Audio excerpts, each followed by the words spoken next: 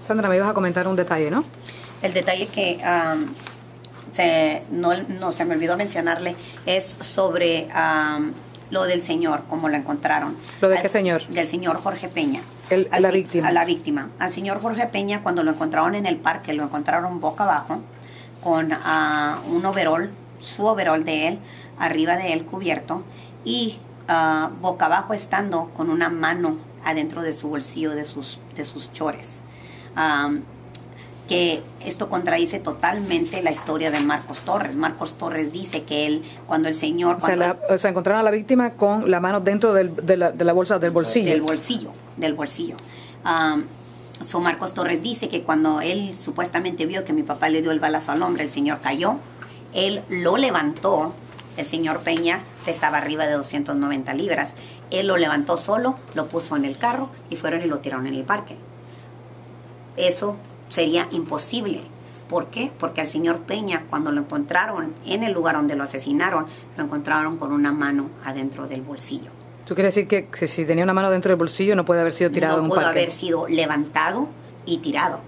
Obviamente hubiera encontrado, hubiera estado en una posición donde sus, sus brazos estarían completamente sueltos de todo. Pero eh, la foto enseña donde el señor tenía una mano adentro de su bolsillo.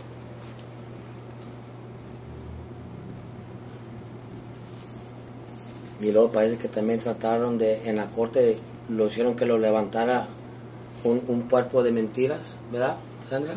Y no pudo levantarlo.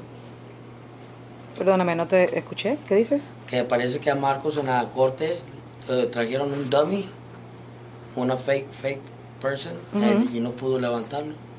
Entonces, ¿cómo pudo levantar el cuerpo eso y no pudo levantarlo en la corte? Nosotros pasa- hicieron una reconstrucción de la escena, de lo que Ujú. supuestamente él dice que pasó, Ujú. y le trajeron un maniquín del aproximado peso. Ah, no sé si es un maniquín o si le pusieron una persona del aproximado peso para que él enseñara cómo él levantó a la persona y no lo pudo hacer, no pudo levantar ¿Eso fue dónde? en la corte. ¿Tú no estabas ahí? Yo estuve presente ahí. Yo sí estuve ¿Y presente. cómo, en la por qué no te acuerdas si era un maniquí o una, o una, o una No me persona? acuerdo porque am, yo estaba mero atrás y cuando estaban en esa parte ah, nos tenían a mero atrás en un cuarto nosotros y tienen como, Sí. como visores para que mires. O sea, que no estabas dentro de- no estabas estaba dentro. dentro adentro del donde está el trial porque supuestamente nos iban a, a usar a nosotros como testigos Mm. y cuando te ponen como testigo no te permiten estar ahí adentro. Mm, ¿Pero tú podías oír? Pero No. podíamos oír. No, sí podíamos oír. We could hear, en donde estaban nosotros. Ah, a mí supuestamente nos iban a usar a todos como testigos, por eso Juan tampoco estuvo ahí adentro. Ah, Sí, pero normalmente los testigos mera- no los dejan, no los dejan ver el caso. no, anyway. y a la mera hora el abogado de nosotros decidió no, no hacernos testificar porque dijo, ¿sabes qué?